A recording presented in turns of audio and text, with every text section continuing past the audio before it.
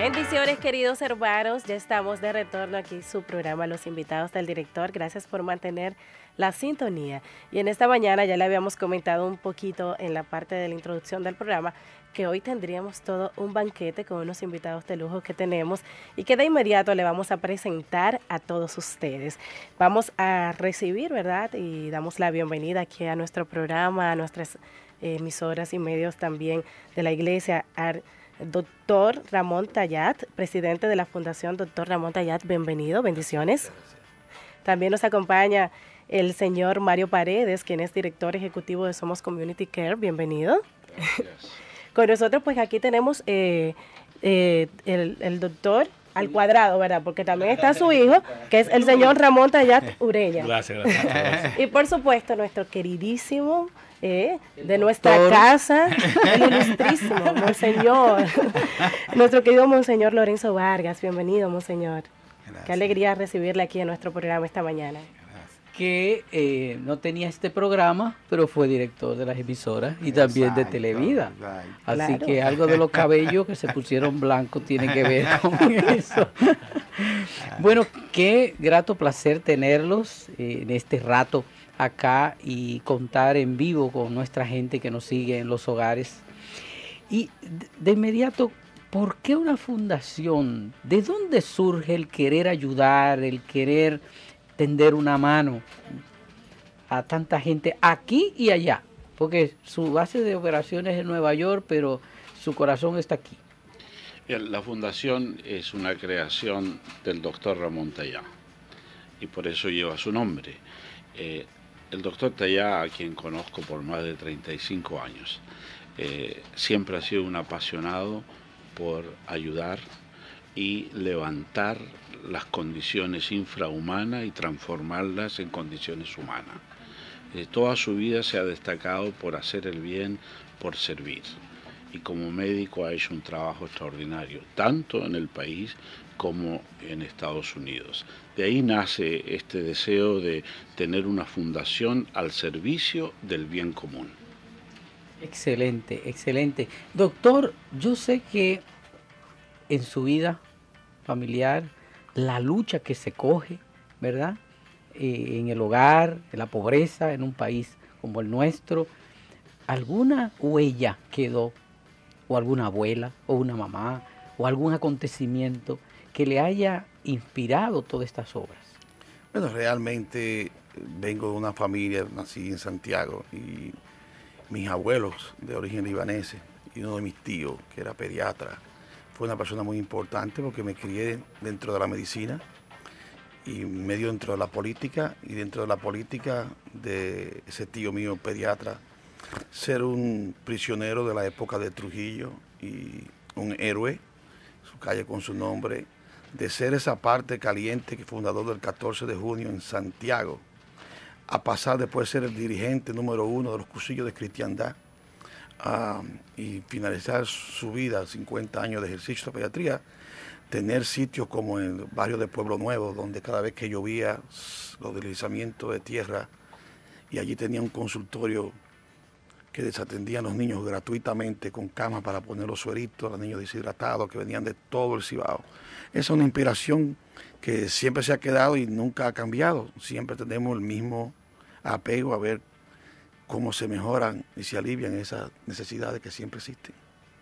Ese fue el momento de inspiración. El padre mencionaba eh, hace un ratito y hacía la pregunta, eh, ya de pasar, de, ver, vivir quizás esa realidad y de verla eh, desde la realidad de su familia que nos cuenta ahora, cuando llega a los Estados Unidos y hay una realidad quizás diferente, pero no tan diferente, porque también de necesidad, de gente que, que, necesitaba una ayuda, ya para comenzar a ayudar desde allá. ¿Cómo se da esa parte? Bueno, e, e, eso es importante porque aquí logramos hacer ciertas cosas, tuvimos frente al gobierno y logramos hacer que los médicos se agruparan. Logré hacer lo mismo en los Estados Unidos, logré agrupar ahora mismo cerca de 3.000 médicos, más de 1.200 de ellos médicos primarios que tienen cerca de un millón de pacientes en la ciudad de Nueva York. Y me fue fácil al principio cuando abrí mis oficinas, porque con el nombre de Talla, mucha gente que vive en los Estados Unidos son de Santiago y mi práctica médica fue muy buena desde un principio, pero el poder agrupar y dar servicio a estos a, esta clase nuestra que la mayor parte tiene Medicaid, que es el servicio de salud del gobierno, el seguro, fue muy importante y todavía es importante. Y estamos haciendo unas modificaciones en el sector salud allá ahora, que son innovación, como se llama así mismo, un plan piloto de innovación creado, que viene por el Obamacare y aumentado por el gobernador Cuomo en el estado de Nueva York. Estamos haciendo una serie de cambios donde la gente, el servicio a la persona ya no es solamente el servicio médico del enfrente, es una manera holística de ver a ese paciente en todas sus necesidades. Y los médicos trabajar en conjunto, donde el centro de la salud es el paciente con su médico primario. Estamos rescatando que el médico primario con su paciente sea lo más importante, no el edificio, no el hospital, sino esa relación médico-paciente. Que aquí que hay un struggling, tan, perdón, una lucha también tratando de que se logre eso, pero obviamente allá el resultado se está viendo, no solamente con la cantidad de ahorros que estamos haciendo, evitando las emergencias, duplicación de servicios, y que el médico primario sea como el, que da la puerta y la entrada esas, cosas las estamos haciendo allá. ¿Y ha encontrado obstáculos? ¿Ha encontrado dificultades? ¿Alguien que no haya entendido eh, su inspiración? ha sido una carrera de, obstáculos, de, un maratón de obstáculos. Vamos a decirlo así.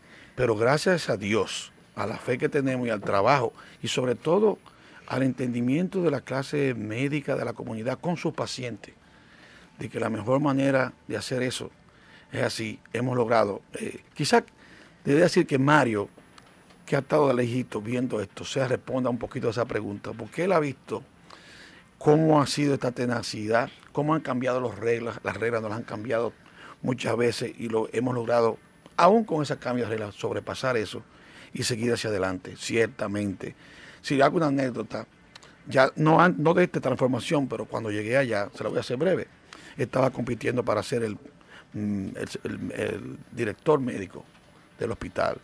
Y la persona que dirigía la lección se renunció para hacer competencia mía. Oh. El día antes de las elecciones. porque era solamente un slate, era el mío, un solo, una sola plancha. Y esa persona dijo, ¿Cómo te van a elegir una persona que viene de un pueblo que no sabe hablar inglés, todavía no se habla inglés bien, que no, que no, que no se comunica, que no tiene aquí reglamento, que no sabe las cosas que pasan aquí, que no conoce a nadie? Y tenía como 300 médicos y paré y dije, él tiene razón. Nací en Santiago. Primero que mi familia encontrara proteínas para desarrollar mi cerebro, no fue fácil.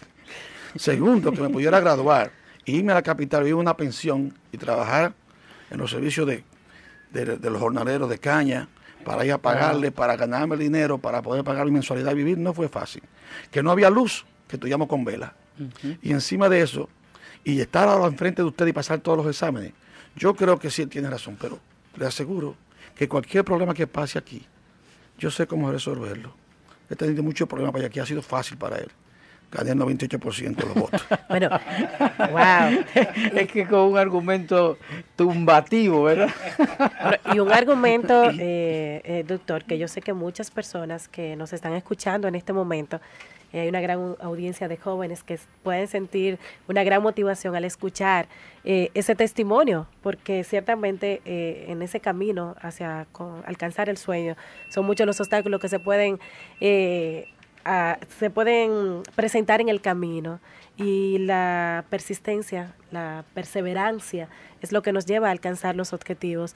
Y muchas veces eh, no todo el mundo tiene esa, esa tenacidad, sino que cuando llega el primer obstáculo eh, ven como primera opción rendirse en algún momento en el camino porque dentro de todos esos obstáculos, desde lo que vivió aquí en el República Dominicana y quizás ya cuando empezó eh, allá el ejercicio de, su profesión, eh, pasó por su mente algún momento la palabra me rindo, yo no aguanto, ya yo no voy a seguir.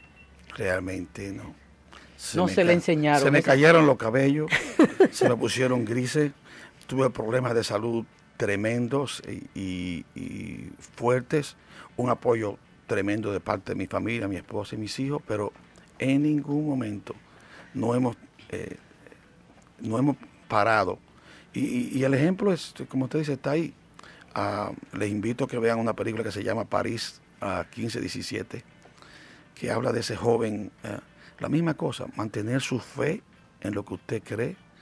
En el caso nuestro cristiana, la oración poderosa, Lucas 11, 19, 11, 1 Pedro 5, 7 y el Salmo 91, tenerlo con ustedes como apoyo todo el tiempo, que le da la fuerza, depositar la confianza en Él, porque Él nos va a ayudar. Rendirse nunca es una opción. No lo aprendió, eso no lo aprendió. Y qué bueno no aprender eso en su diccionario. Y el hijo, ¿qué puede decir al ver a un papá que nunca se ha rendido? Créame que es difícil eh, llenar los zapatos, la expectativa de una persona con la trayectoria, eh, al igual que, que, don Mario, que ha servido como un, ente eh, de ejemplo en mi vida.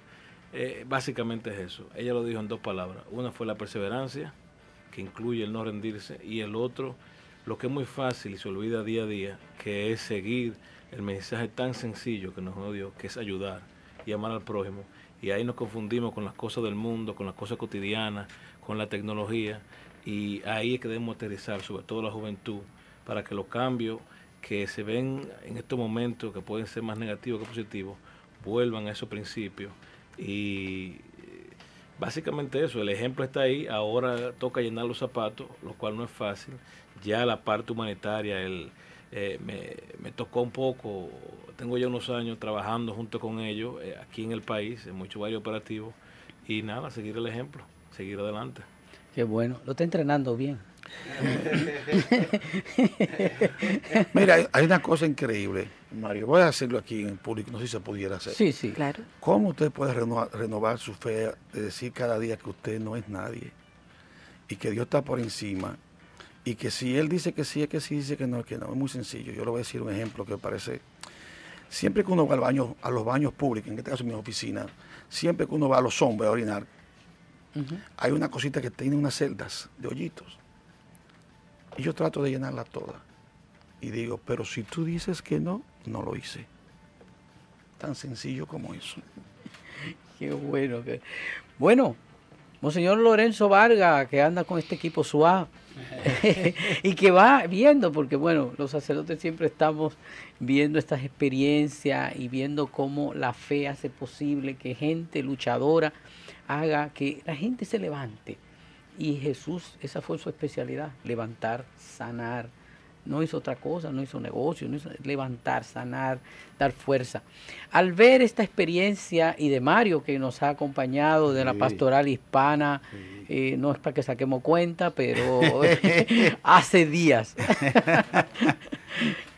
¿Cómo ve, padre, esta experiencia desde que lo conoce y de la fundación también? bueno, eh, lo primero que tengo que decir que tenemos que agradecer mucho a Mario Paredes, por todo el trabajo que ha hecho con nuestra gente hispana y especialmente dominicana en Estados Unidos para unirlos en la iglesia y en la sociedad. Y también creo que fruto de ese interés por la República Dominicana es que es posible esta experiencia, porque el doctor Tallá es un ejemplo de cuando una gente recibe apoyo y es capaz de querer que, o apoyar a otros. Y yo creo que esa es de las virtudes de Mario, buscar apoyos para que haya gente que apoye a otros. Y esto es el resultado, exacto. Y este es un resultado y, alegra mucho, ¿no? Como la iglesia de Nueva York, a través del arzobispo Connor y de Mario, pues apoyaron a ese joven que ellos descubrieron aquí en un intento de hacer un hospital para niños que quería el arzobispo, el cardenal Connor, hacer aquí. Y le encomendaron al doctor Tallá atender esa gente, esa visita y ese proyecto. Y ahí vieron que el hombre tenía capacidad y dijeron, hay que apoyarlo y hay que prepararlo bien. Y creo que han hecho algo grande no solamente para el doctor Ramón, sino para la República Dominicana, pensando en tantos dominicanos médicos que llegan allí, nada más con una mano adelante y otra atrás, y cómo ellos organizando esos médicos nuestros y de otros países que llegan migrantes allá, han logrado que ellos se integren en la sociedad y aporten. Y además que este programa de salud en Nueva York está dirigido precisamente a la gran mayoría hispanos, que son los más pobres, y hay mucha gente que vive en situaciones muy difíciles. Es decir, que ha sido un aporte que también hemos dado desde la República Dominicana a través de él, y también qué bueno que él quiera que lo que le pasó a él, que lo ayudaron, lo apoyaron, eh, a través de esta fundación, apoyar a jóvenes dominicanos católicos que quieran echar para adelante en el campo de la salud. Bueno, con esto nosotros vamos a ir a una pequeña pausa y cuando retornemos seguimos con más de esta interesante conversación donde queremos que ustedes también sean parte. El 809-536-1053 es nuestra línea de contacto. Luego de la pausa seguimos con nuestros invitados.